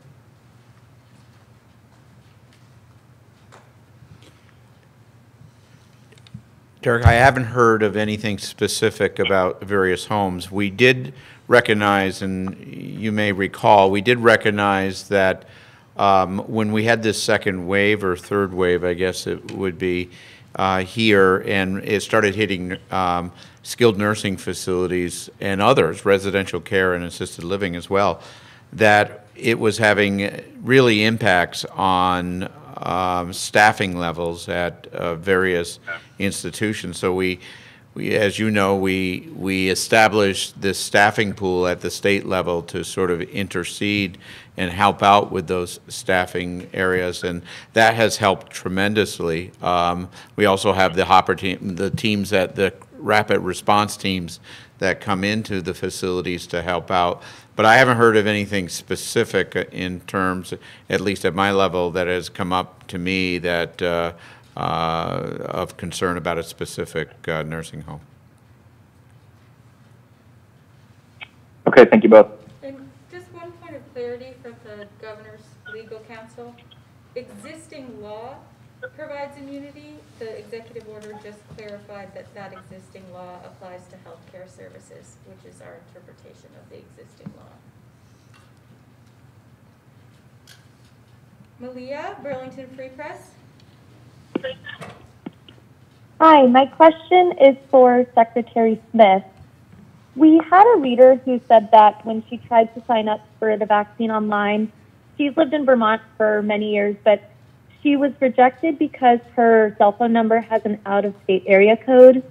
And she was able to get her appointment when she called the number online. But I was wondering is this something that other people in the state are having problems with? Are people able to sign up online for the vaccine if they have an out of state code, or do they have to go through the number? And, and how is the state sort of addressing this? I, I don't, this is the first I've heard, um, and I'll let Secretary Smith comment as well, but first I've heard of any um, situation where the telephone number uh, disqualified anyone from signing up. And I would imagine that we had a number of people who have uh, area codes outside the state. So um, hopefully this is just a one-off uh, type of situation, but I have not uh, heard of any others at this point. Secretary Smith?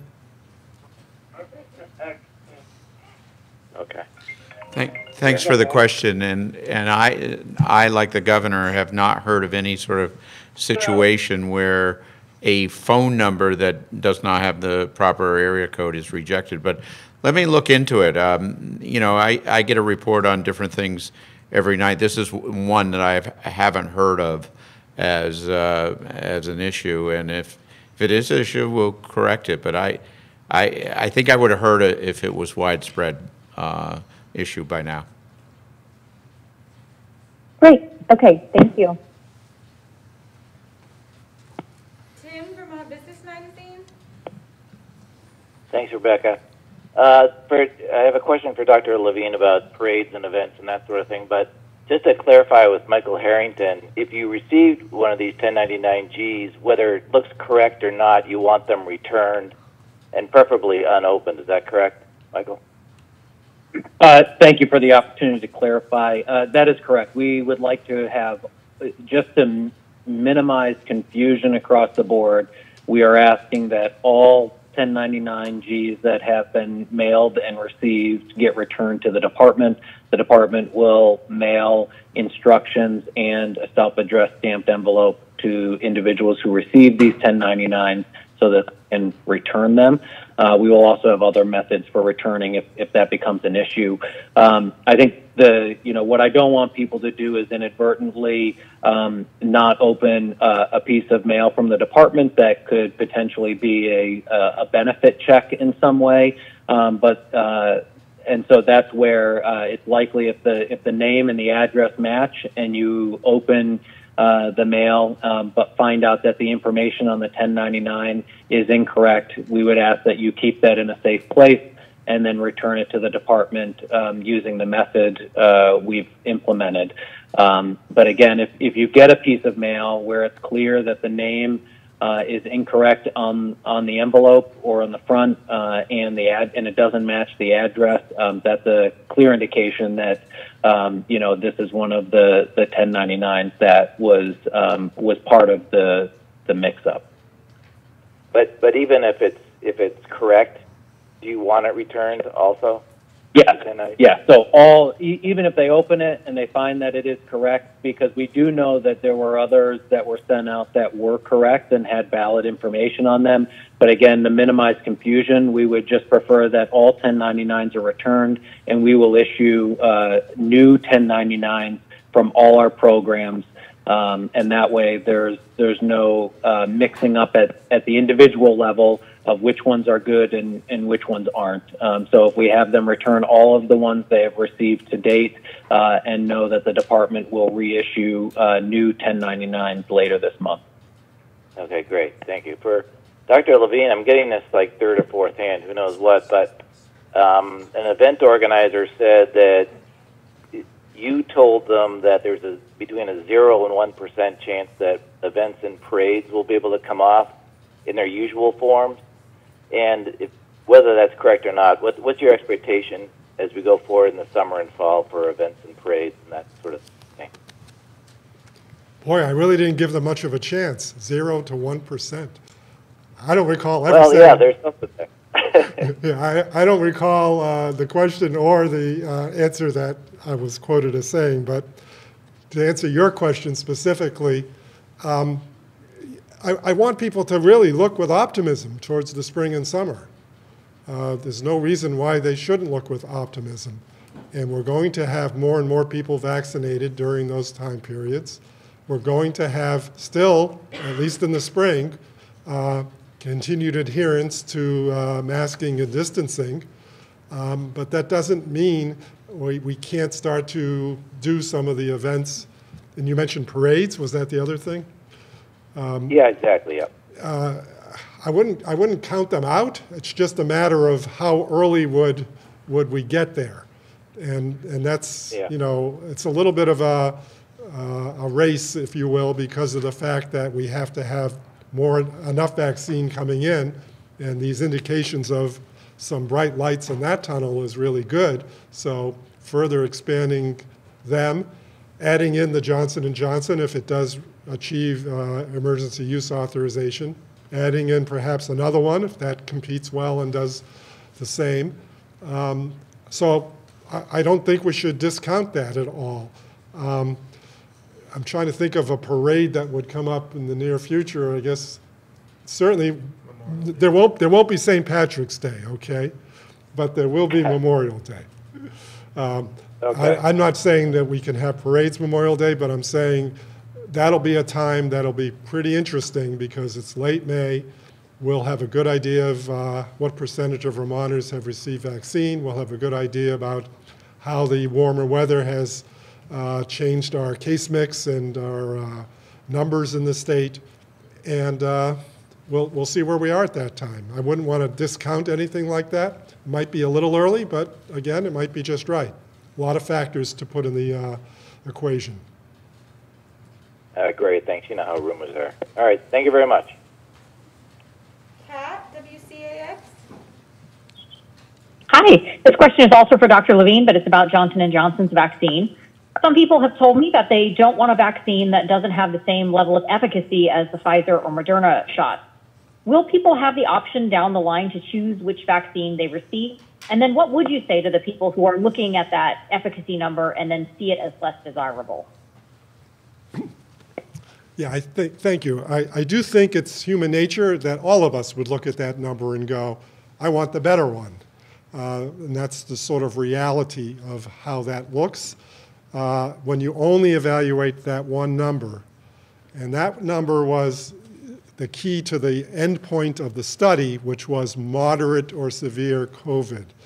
Um, the real thing that the vaccines uh, should be really held in high esteem for is their ability to prevent people from getting really sick. So severe end of the illness spectrum, and then hospitalizations and deaths. And the fact that this vaccine performed so well in those categories is really what people should take home as a major take-home message. Then if they want to add into the equation, if they need more to make it seem more attractive to them, they should add into the equation the fact that nobody had anaphylaxis. They should add into the equation they do not have a high percentage of serious adverse effects. They should add into the equation that um, across at least preliminary data that we have, across various demographic groups, whether they be racially defined, uh, age defined, or um, illness defined, the vaccines seem to stand up. The other factor that people will start to want to weigh is, of course, how these vaccines do against the variants. And that's going to be challenging because that work is really happening real time right now. And uh, even at a time when most of these variants aren't at a high percentage of our cases in the country, never mind the state of Vermont. Um, and we're going to hear that certain ones do better, certain ones do worse. But as Dr. Fauci has said, um, the formulas uh, for the mRNA specifically uh, and what goes into that, what, what, what it's helping our body react against, uh, can be tweaked. So with further experience, uh, a vaccine can look a little different than it did when it first came out because it's been modified to um, be effective against a broader category of, virus variants. So all of those things are going to be part of people's decision making, but I wouldn't want people to um, look at the 72% and say, forget it, uh, that's really not what we want. because any of these vaccines uh, will do a great job at preventing us from the most serious outcomes. And in concert, all of the vaccines will do a great job at getting us to that level of community immunity and that level of enough people not able to contract a serious case of the virus that life will be uh, much better uh, in that future. So, so that's how I'd like people to look at it. Did I answer both of your questions? I'm not sure I answered the first part. Uh, just Claire, coming back to the first part of my question, so people will or won't have the option to choose which vaccine they receive. Yeah, right now, I don't see that as being part of the uh, formula. Um, I'd love to have a, a, day that comes about where, where that would happen. But if that would happen, I wouldn't want people to just on their own seize on a number or seize on a specific attribute of the vaccine. Uh, I'd really want them to do that with really strong public health guidance. And that guidance, you know, could come from me, but I mean, it would come, I would hope, on a more national stage, even an international stage for that matter, so that if there were really compelling differences that would warrant allowing personal choice, uh, that we would make those factors very clear for everyone. And then the last follow-up question I had on this line was, uh, should the state consider prioritizing the higher efficacy vaccines down the line for higher risk groups? So like someone like me who's, you know, young, healthy, no conditions would be maybe a better candidate for something like the Johnson & Johnson shot versus someone who might have a more serious outcome if they were to contract the virus or if they were to have a vaccine not work as well on them. Interesting question, and my answer, tongue in cheek, would be we should be so lucky that we would be able to do that because we, you know, it, would be like going to the supermarket and having three different kinds of cookies that you could buy, and they're all available, and we could just choose from them. Uh, so probably an unlikely scenario to occur, um, but I don't think uh, that will happen, at least with these three vaccines, mainly because um, of the attributes that make one stand apart from another versus one look more like the other. I don't think there's anything super compelling right now in, in any of them that would predetermine one should be used for the most vulnerable and the other should be used for someone less vulnerable. Thank you. As well, I think it's important for everyone to understand these are still in the trial, uh, on a trial basis, and um, and they still have to be approved by the FDA and CDC. I'm sure we'll get more information. We're not the only ones, you know, thinking about this uh, right now. Others are as well. Some of the health experts from around the, the world will be looking at this, and they may have guidance for us. And, and I've even heard, um, I think it was Dr. Fauci had said, there may even be a booster uh, beyond uh, the, the first dose of the Johnson & Johnson that would bring it up to that same level. So uh, time will tell. Uh, there's uh, still a lot of information that we're, we're all eagerly waiting for.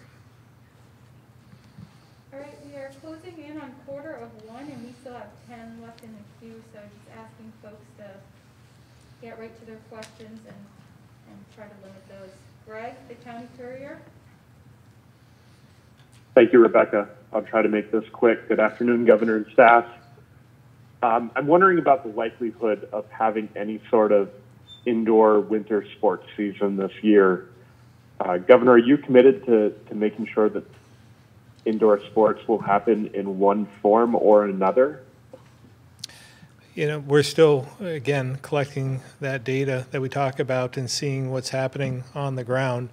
Um, we know uh, that we're going to have to make that determination uh, soon uh, because they need to put that into place. But um, I, I envision that there will be some sort of winter sports program, um, but it all depends on, you know, us getting together and, and agreeing uh, to this or not, um, because the safety of Vermonters comes first, and we want to make sure that the uh, we do it for the right reasons. Uh, it's hard, uh, we you know we need to use our, our minds and not our hearts in this situation, and it's uh, it's difficult because I know kids need to get back to that. There's a an emotional uh, component of this that we have to recognize and what what is best uh, for all involved. So again, I, I know I, am um, we're, we're having these discussions almost on a daily basis, and uh, and we have to make that decision fairly soon, uh, so that the uh, um, the Princ- Principals Association can move forward with, with something or not. So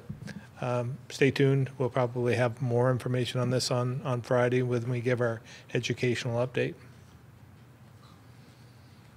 Uh, since since Tim kind of opened up the can of worms on having a percentage, can you give us uh, like the the percentage, the likelihood that it would be canceled, or the likelihood percentage-wise that it, it would go on in one form or another? Yeah, somewhere between zero and 100. Oh, thanks.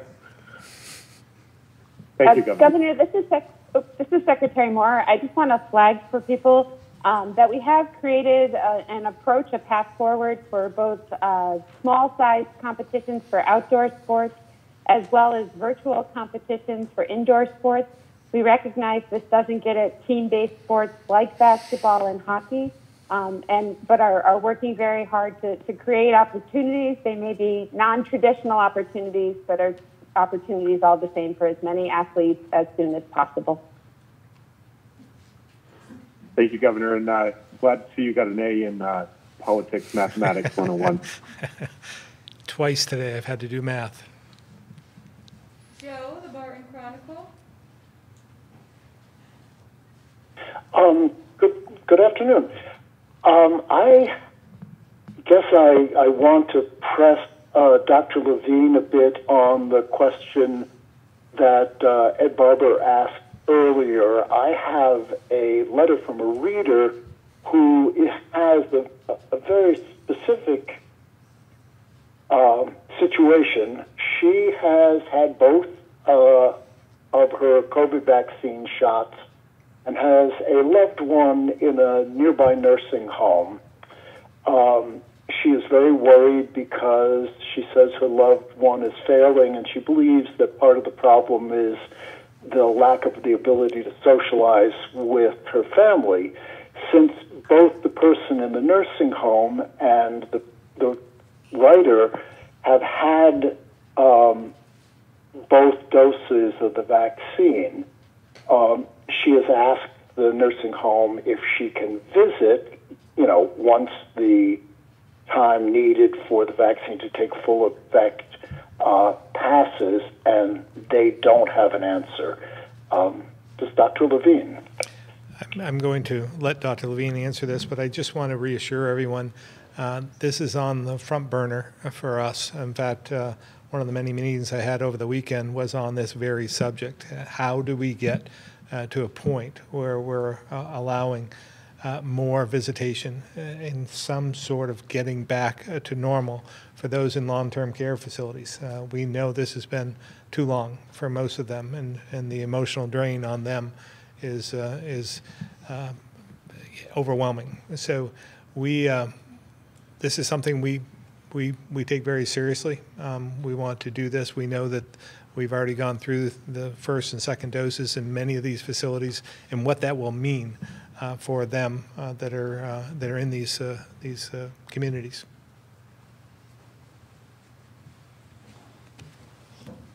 So that probably is now the third time in this press conference you've heard that. This is top, top burner, front burner, and we're working hard on it. I have to say, in defense of whatever facility this woman's relative is in, um, they are regulated. And per their regulations, they are probably saying the appropriate thing. Uh, They need the pathway forward that we're hoping to find um, in compliance with the regulatory environment, but also uh, using common sense and understanding where we are at this point in time.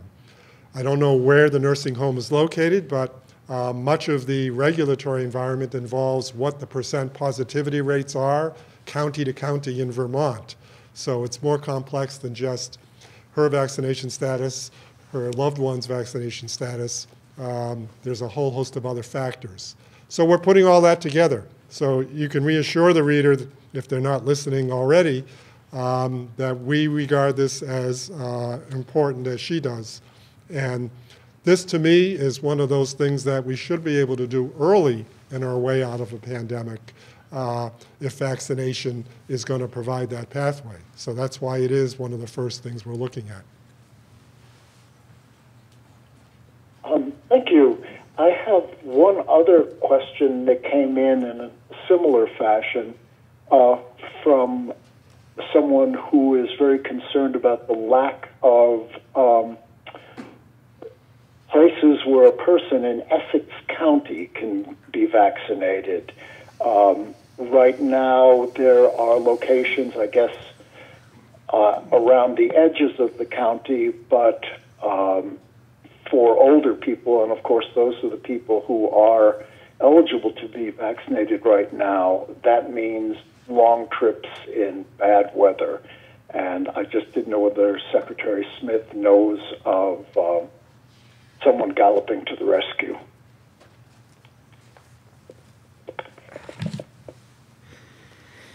I don't know about galloping to the rescue. Horses don't really like me for some reason. Um, the one thing that I'll, I'll do um, is check on this. I know we have an FQHC up there that's um, um, that's poised for uh, vaccination. I know we have hospitals on either end, uh, St. Johnsbury of Essex County. Um, uh, we got St. Johnsbury and we got Newport up in that area as well. Um, but let me just double check, Joe, before I um, say something that may be incorrect. Thank you very much. I would also add, um, pay attention uh, to this, uh, what I had announced earlier, that the uh, administration had told us during this meeting that they were going to implement this next phase, a pilot in some respects, with the, uh, with the pharmacies. So there's going to be uh, another 10%, another 1,000 doses coming into the state, going into uh, through the, the pharmacies directly, I believe, from them. We'll get more details on that, but that could help out as well. Andrew, Caledonian Record. Uh, yes, uh, thank you. Good afternoon. Um, I will stay on that very topic. Thank you, Joe, for opening it. Um, it's the uh, primary question I wanted to ask. Um, Essex County has uh, less than half uh, the vaccination rate as the statewide average right now. And um, according to the um, clinic plan that I've seen from the, uh, the federally qualified health center, there's only 200 doses allocated to the county in the next two weeks, um, which would still leave Essex County uh, well below the statewide average as it is today, much less uh, where it will be at the end of those two weeks. So um, I don't know whether there's galloping involved, but um, uh, Secretary Smith, you mentioned um, uh, additional allocations and clinics in your conversation with Mike. How much of, of that type of planning is still going on? I also, and Secretary Smith will answer this as well, but I just want to uh, caution everyone uh, when you're looking at the data, uh, some of this was front loaded. A lot of the, the long term care facilities were located in other regions with a higher population. So some of them were accounted for in the early beginning. So it may be skewed just a bit when you're looking, comparing one county to another uh, based on uh, some of the some some of the density, uh, and I, not just population, but density of the long-term care facilities and how that's skewed it just a bit. Secretary Smith. Yes, uh, thank you for the question, and and the governor's right. If we get more dosage, obviously, um, it helps everybody, not only uh, Essex County, but Orleans and everybody else in in that area. What we did is tr uh, tried to be fair about this and look at the number of 75 plus year olds that there are in every county and proportionately um, use the uh, uh, you know a proportionate amount for the vaccine going to how much your 75 year olds are apportioned uh, statewide. So we really tried to do this sort of on a per capita basis and look at a fair way of doing this um, so that we could be um, equitable throughout the state. I think the governor's right. Um, if we get more vaccine, you'll see those numbers go uh, up. And secondly, um, the long-term care facilities probably do skew, skew, those numbers a little bit as well. So, but let me look into it and um, um, go down that road uh, as well. I can't put a uh, vaccination site into every town, but what we're trying to do is something similar to testing, is that um, bring the drive time down to 30 minutes um, as possi, as much as possible. Now, uh, obviously, uh, vaccine uh, supply is, is a big, um, is a big thing in doing that. Um, and the ability to um, store and, and administer those vaccines in a way that's safe. Um, but let's look into that uh, and uh, move forward in your area as well.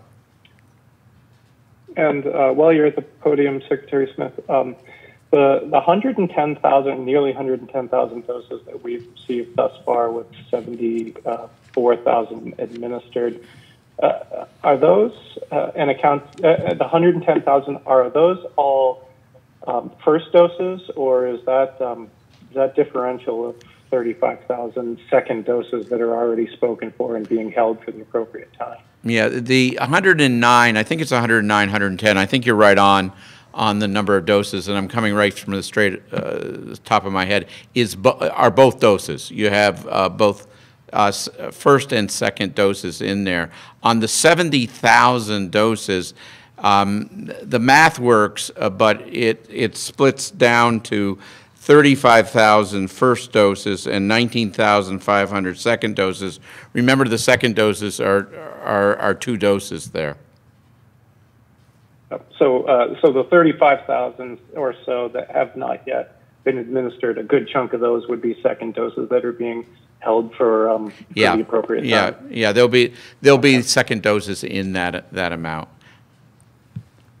And uh, do you have any clarity yet on when you'll be opening up registrations for the next group if you're already 34,000 registered for 75 and above? We're having those discussions right now. I would say stay tuned in the next couple of weeks. Thank you. All right, we have seven left in the queue and it's twelve fifty-six. Avery, WCAX? Hi, my first question is um, just a quick clarification about registering. So, if someone is trying to register with their spouse, do they they can use one email? They just need to do the registration twice, or how how does that process work? We had a question from a viewer. Secretary Smith. Avery, there's two ways of doing this. Um, each person has to register, but there's two ways of registering. First, you can register with your separate emails. Um, that's one way. Um, or you can call and have the person at the uh, call center uh, take your information and do two separate uh, uh applications in, in terms of registration. The other way is there's a dependent button up on the registration site, and you can click the de uh, dependent button, and that will that will that will cue uh, cue you to put in information of a of a spouse, for example. Um, but it will probably ask for, you know, it will it will ask for information again uh, on that particular spouse because they have to register with that. This viewer did say they, they put the dependent in, but when they went to call to follow up to call about the appointment, they were told they only had one um, one person registered. Do you know why that would possibly happen? No, I don't. I, I you know I haven't heard of that instance. We've had 35, 34,000 people register, and I haven't heard of that. I've heard of people saying they had to do another email address in order for that to work, but um, if we can go offline and if, if I can be assistance to that person, let me know. Okay, I think they were able to get an appointment, but we just wanted to make sure for future. Uh, we figured we might get future questions. Um, and my follow-up is also for, for, you about your comments about the NGA meeting. Are you getting different groups approaching you to lobby for priority in the vaccine lineup after we get through the folks with chronic conditions? And how will you keep that process transparent? I've got everybody lobbying me on uh, different priorities, and I'm willing to hear everybody, but we're, we're committed to preventing death. And we're committed to this strategy of making sure that we get through the age bands, as the governor mentioned, get through those 65 to 16 uh, with underlying conditions, and then we will develop a strategy of where to go from there. But um, we're committed to the strategy we got now. But we will listen uh, to anybody that wants to come and talk. All right, we're gonna move to our next caller. Guy, Guy Page.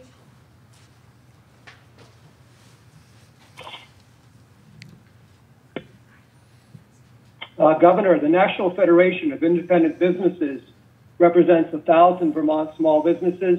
They want you to stop increases in unemployment taxes, saying that they weren't responsible for the forced layoffs. They also want you to limit their legal liability from legal challenges related to COVID-19, assuming they followed all the state's safety requirements. Uh, can you, will you do these things? Well, I think I've committed to the no increases in unemployment um, assessment uh, in the near term. I, I think I said that during my my State of the State or the budget uh, address, one of the two. Um, so I'm I'm committed to trying to follow through on that. Uh, I believe um, we'll have to get agreement with the with the legislature on that, but but the unemployment trust fund is in pretty good shape. I mean, we're down about half or a little bit less than half at this point in time, uh, which is pretty significant. Uh, we've already been a year, and I would anticipate that the uh, um, the fund uh, will will be uh, in pretty good shape as we move through the rest of this uh, pandemic. Uh, in terms of the other liability, we have not uh, um, considered that at this point in time, uh, but happy to do so, and, and I'm sure the legislature will have to be engaged as well. My other question was going to be, do you plan to swim in the Lake Memphremagog Winter Swim? I do not plan to, no. Okay. All right. Thank you. Eric, Times Argus. Yes, this is for Secretary Smith. Uh, when talking about cancellations due to snowstorms, uh, you said there was 21. Does that mean that there's 21 wasted doses? What happens to those doses in a situation like this where people can't physically make it to their appointments? Yeah, again, um, unless Secretary Smith's going to answer something different, those those doses aren't wasted. Uh, we anticipated this, and uh, we we will not waste any doses as a result of any cancellations due to the storm today.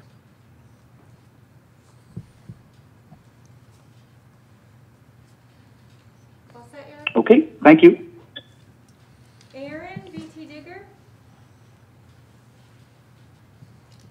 Uh,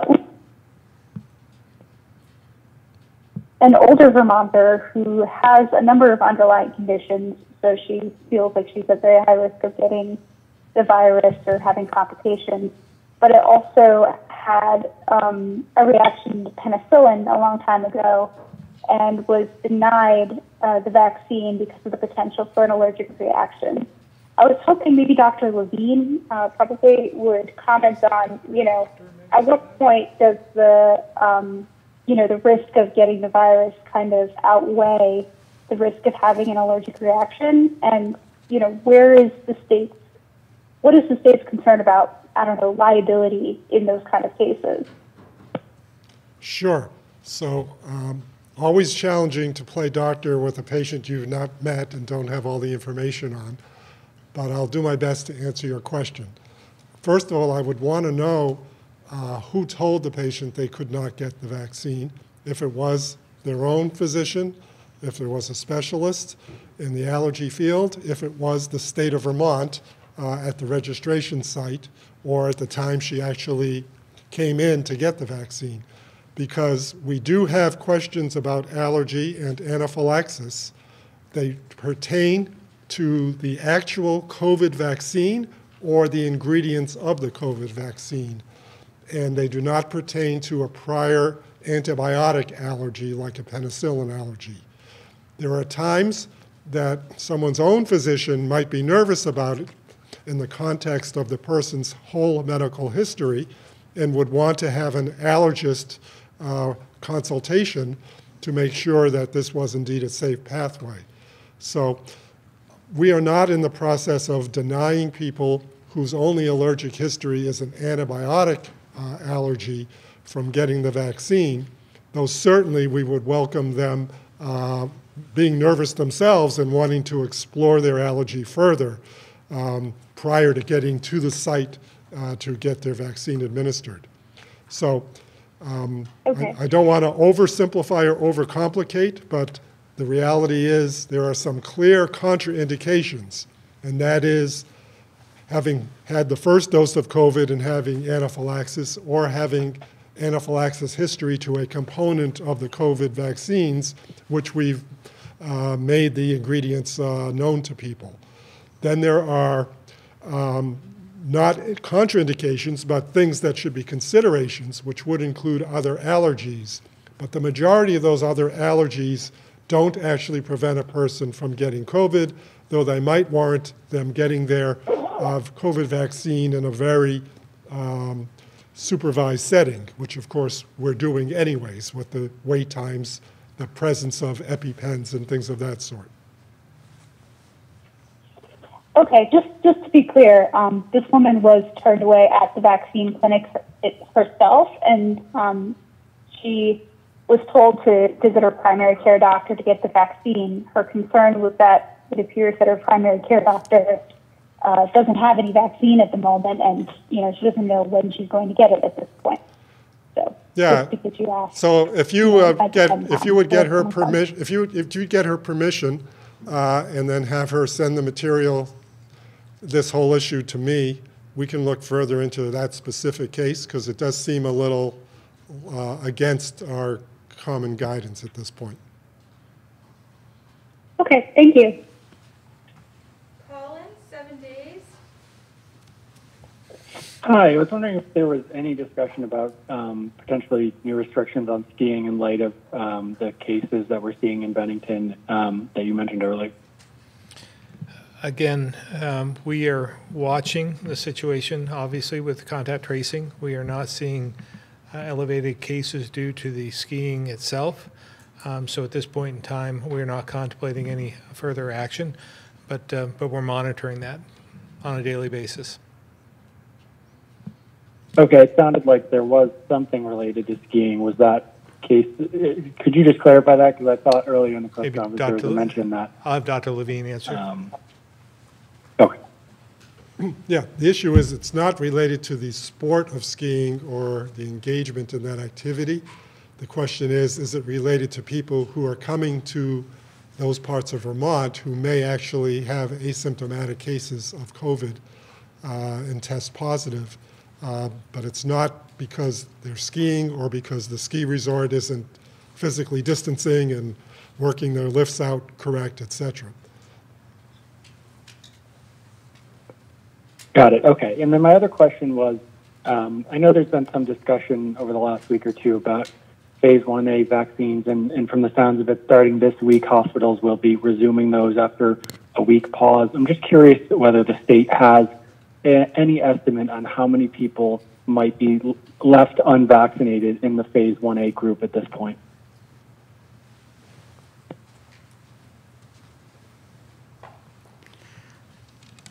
I did- Colin Mike Smith, I don't have an estimate of how many are not vaccinated at this point. We are allocating a portion of our, um, our weekly dosage to uh, make sure that we do get 1A. Um, I, I will, I will take a guess, and it's an un- uneducated guess. We're definitely on the downside of wrapping this up uh, in terms of where we are. We've allocated about 960 doses uh, this week uh, for 1A. W- Also, 1A is on the call list um, if we need to um, bring in uh, various people because we have extra doses at the end of the day. So between those two, I think we're going to be wrapping up 1A in bulk. We'll never wrap up 1A, as we would never wrap up probably uh, seven, you know, uh, the various groups as, as, as uh, people, um, uh, you know, as there are groups. Uh, There'll be new nurses, for example, there'll be new doctors, um, but we'll never wrap it up. But I think we're on the downside of, um, of big allocations going to uh, 1A after, uh, after a few weeks here.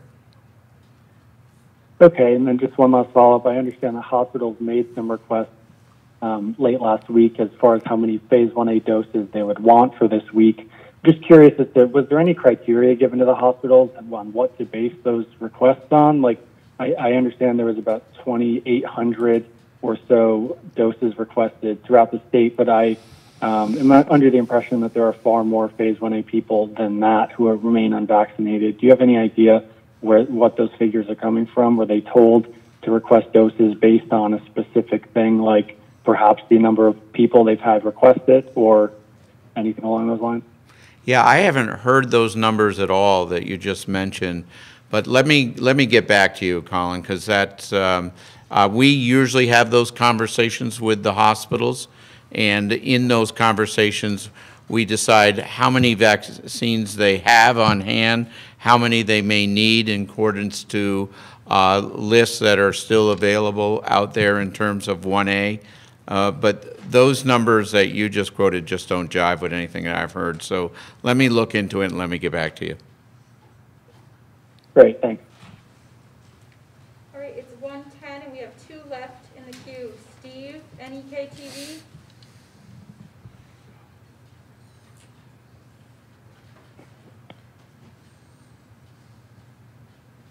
Hi, can you hear me? We can. Great. Uh, one for the governor and one for the doctor, if I may. Um, governor, you'd mentioned set asides for the BIPOC community, and um, I'd wondered uh, about indigenous peoples. Uh, uh, what would no tribal, federal tribal recognition and, uh, you know, reservations or anything like that, uh, how would one qualify as indigenous? Um, do you use the Elizabeth Warren standard with high cheekbones, or uh, there, uh, did you just take people's word for it? Um, I'm going to refer to Dr. Levine. I'm sorry to do this to you, Dr. Levine, but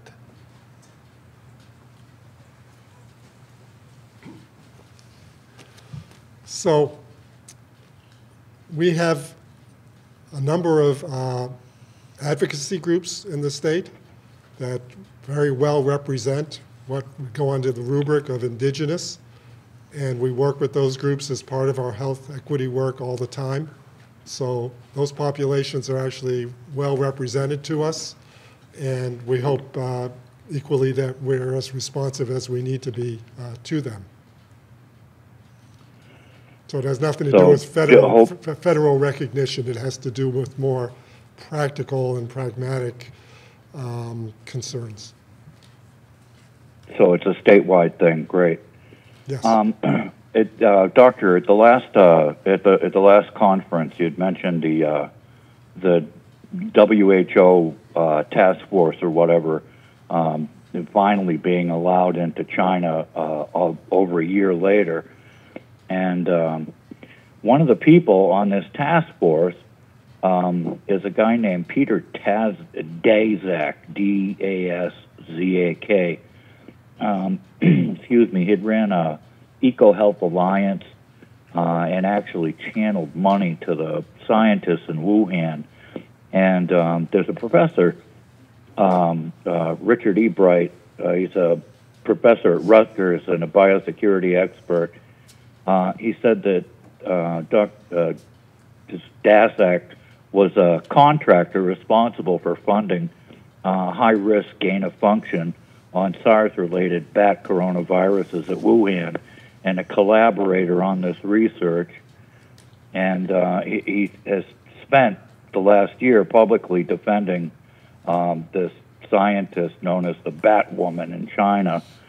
Um, with this kind of uh, uh, with this kind of conflict of interest and his cozying up to the to the Chinese government and and the conflicts with with his company also. Um, how can we, you know, uh, how could how could something like this happen? Uh, shouldn't there be neutral parties at the WHO? Yeah, you've certainly done a lot of research on that issue. Uh, so I'm going to make the assumption that your research has borne fruit and this is truly what the case is. And my response would be that it's not a one person operation, that the Oh, it's a WHO team, yeah.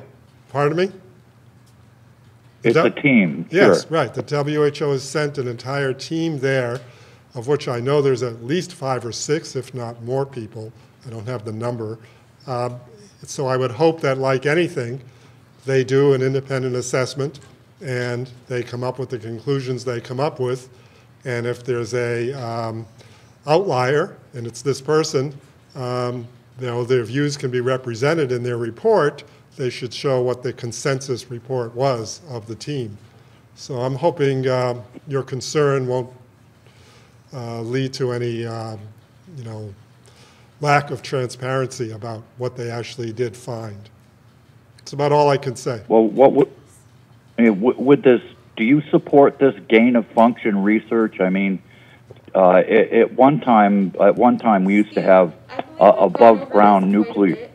So I believe Dr. Levine has answered this question quite a bit, and we're running pretty late today. We have one more caller. Okay, then. Well, uh, thank you very much. I appreciate your time. Devin, Local 22?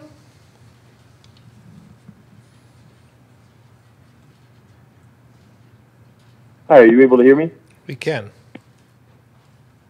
Apologies for being muted earlier. I promise I'm not just trying to go last every time. Um, my question is for Dr. Levine and uh, Governor Scott. Maybe this is uh, something that came up in your call with the Biden administration. Um, so the administration made a deal with an Australian company for uh, what's eventually going to be millions of at-home COVID tests. Um, they would be $30, which can obviously add up if you're testing an entire family, and it's unclear when they'll start to be commercially available. Um, my question is, at this point in the pandemic, when there's still the long vaccination process ahead of us, do you think this step is a sign that the availability and affordability of these at-home tests is going to improve enough in time for that to become a preferred and realistic option to in-person testing and be a valuable tool going forward? Um, I can uh, first comment on the uh, the call with the National Governors Association, the administration. This did not come up on that call uh, specifically. It could in the future. Obviously, testing is still part of our mitigation plan as we move forward. Um, so I'm encouraged when I see uh, these types of developments. When you have self-administered tests that are maybe 95% effective, from what I saw. Um, but the price tag uh, is uh, is problematic for for many. But but you know, in the future, I think uh, this might be part of uh, how we uh, get back to uh, to normal, um, where we are able to have these tests and um, and maybe at a, a much reduced cost uh, as uh, competition takes over and, and there's more on the on the horizon and more available. Dr. Levine.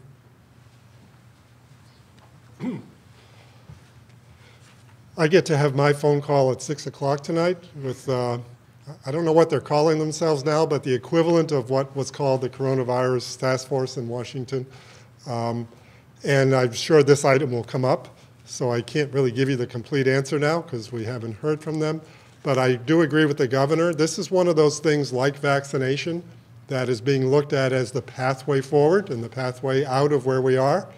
Uh, if people could have access to something that was inexpensive, easy to use, reliable, and uh, could be done at home, uh, it could certainly govern uh, their actions um, that day and in other days. So that it does seem like a great idea, and I know that there's more of these being um, formulated every day, these at-home tests, but they haven't been very accessible, and certainly not accessible if you don't have a lot of money.